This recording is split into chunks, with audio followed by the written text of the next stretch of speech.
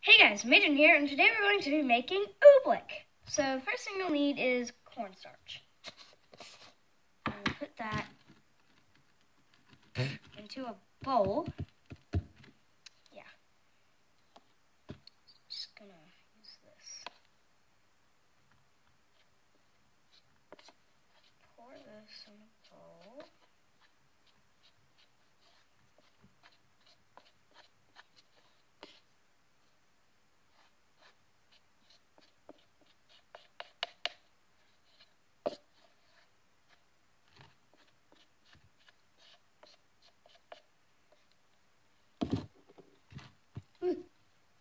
So now that I've done that, all you're going to want to do is add water.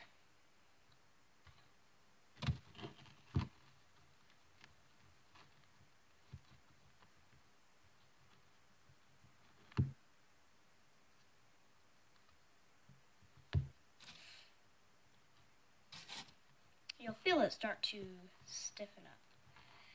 Now, if you don't know what oobleck is, it's like a solid liquid. I don't know what it's called, but if you apply pressure to it with force at a fast speed and rate, then your hand, it will just,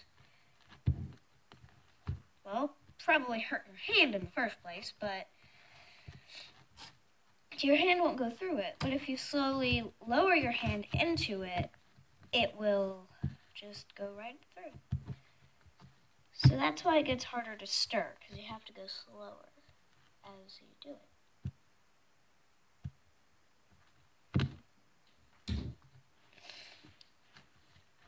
So now I'm just gonna, I'm just gonna pause it because I don't know how long this is gonna take. Okay, so now I'm just gonna show you what oobleck is. So it's a solid and a liquid. I'm just gonna get a chunk out of it and see it's a liquid.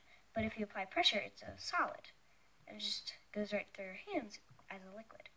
But then it turns into a solid if you apply force and pressure to it. Which is why it's so easy to clean up. Well, guys, that's it for today. Don't forget to subscribe to join Team Magentians for daily episodes, and see you guys later.